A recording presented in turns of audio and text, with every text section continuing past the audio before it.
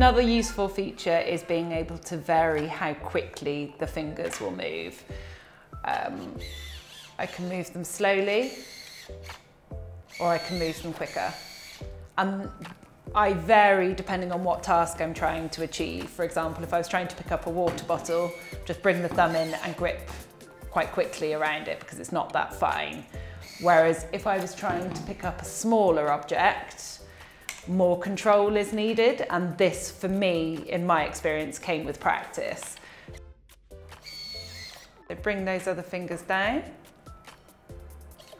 and slowly bring the finger down. And to do that, I used my muscle to control how much signal I want to send to the electrodes.